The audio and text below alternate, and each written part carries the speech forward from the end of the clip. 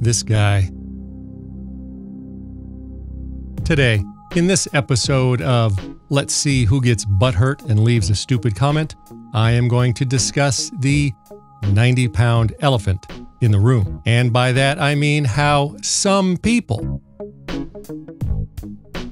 repeatedly proclaim that ham is better than GMRS and that the only reason people use GMRS is because they're too stupid to take the test. Now, to be clear, those are not my words. Those are the actual words, actual quotes taken from ham radio operators from all over the internet. And how do we know that it's actually ham radio operators saying these things?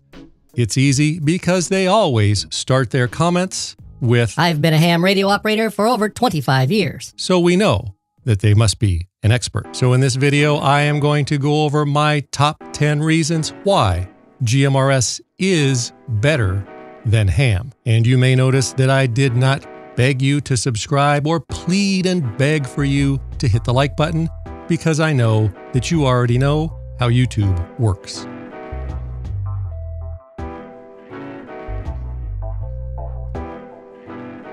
Number 10. It's easy to get a GMRS license. There is no test, and a superiority complex is not required. Number 9.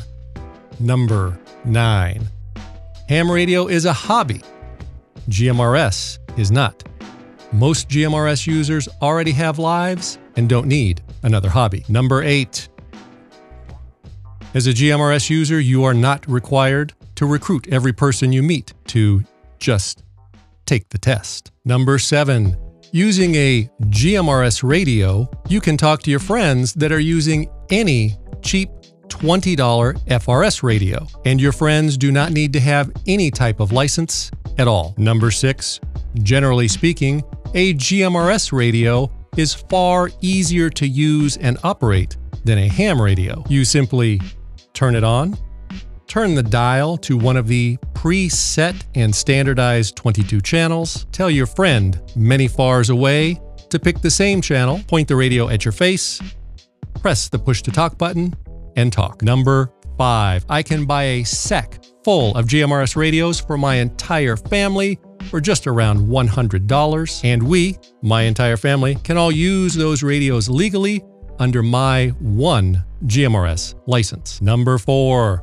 Using a GMRS radio, I can drive by the local Walmart or Chick fil A and listen to the employees bad mouthing customers, and I can even chat with them. And the reason I can do this with my GMRS radio is because GMRS radios share all of the same frequencies with FRS radios. And FRS radios can be used for commercial or business purposes, which you cannot do with ham radio. Number three, GMRS users do not need to prove their manhood by spending a lot of money on their radio. As a GMRS user, I can buy a $40 GMRS radio or I can buy a $400 GMRS radio, and nobody cares. Number two, with a GMRS license, when leaving comments online, you are not required to say that you have been a GMRS operator for 25 years. You are not required to prove that you are smarter than everyone else, and you are not required to leave comments that are at least 10 paragraphs long or longer. And finally, the number one reason why GMRS is better than ham radio for many people is GMRS is what GMRS users have chosen to use because it was the best choice for them. They do not need more power, they do not care about more frequencies, and they have no interest in bouncing their signal off of the moon or talking to some stranger a thousand miles away. They just want to talk to their friends when they need to, and on GMRS, they can do that just fine. Did I miss anything?